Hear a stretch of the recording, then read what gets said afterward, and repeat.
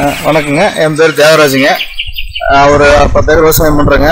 Mobile கடை வச்சுக்கிறேங்க மருந்துலாம் வாங்குறதுனா ஒரு மாமாவும் ஒரு ஆலோசனை கேட்டு பண்ணணுங்க. இது மாதிரி குச்சி போட்டிருந்தாங்க. ஒரு ஒன்றரை ஏக்கர் இருக்குதுங்க. போய் கேட்டுங்க. அவர் உரம் எதுவும் வேண்டாங்க. இந்த மாதிரி லிக்விட் கொடுக்குறேங்க. விட்டுங்கன்னு சொல்லி சொன்னாருங்க. மூணாவது மாசத்துல விட்டுனுங்க இன்னைக்கு செடி பார்த்தீங்கன்னா எனக்கு தெரிஞ்சு இந்த மாதிரி ஒரு வளர்ச்சியா ஒரு வெடிப்போ இந்த மாதிரி வந்தது இல்லைங்க. இப்போ இந்த தடவை முடிஞ்சது வந்திருக்கு. எனக்கு மன திருப்தியா இருக்குதுங்க. இது நூறு பர்சன்ட் ரிசல்ட் சூப்பரா இருக்குதுங்க. ஏக்கரை குச்சி போட்டிருக்கிறேன். இதுக்கு சிறப்பா இந்த வருஷம் ஈல்டு எடுக்கணும் அப்படின்னு சொன்னாரு.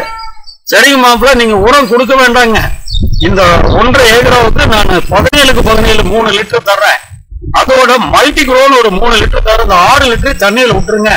இது அருமையான ஒரு ரிசல்ட் வருங்க அப்படின்னு சொல்லி மாப்பிள்ளைக்கு சொன்னனுங்க. நீங்க அதே மாதிரி விட்டீங்க. அதே மாதிரி விட்டுருங்க இன்னைக்கு பாருங்க இதனுடைய ரகம் வந்து வெள்ளை தாய்லாந்துன்னு சொல்றது.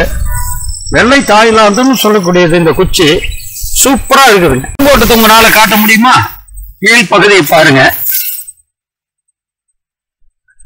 நல்ல இந்த வெடிப்பு வந்து கிழங்கனுடைய வளர்ச்சியை வந்து இந்த வெடிப்பு காட்டணுங்க காட்டணும் உரம் தவறுன்னு சொல்லல. உரத்தை காட்டல லிக்விட் உரம் வந்து இமிடியேட்டா ஆக்சைடு ஃபார்மில் இருக்கிறதுனால இமிடியேட்டா வேலை செய்யுது. குச்சி எல்லாம் இன்னைக்கு நல்ல விலையில் இருக்குதுங்க. ரொம்ப அற்புதமா இருக்குது. நீங்களும் இதை பயிர் பண்ணுங்கன்னா நான் உங்களை இதை நீங்களும் இந்த உரத்தை அப்ளை பண்ணுங்கன்னு நான் வேண்டிக்கிறேன். மாப்பிள்ள உங்களுக்கு திருப்தி தானே? நூறு பர்சன்ட் திருப்தி. ரொம்ப சந்தோஷம். வணக்கம். வணக்கம்.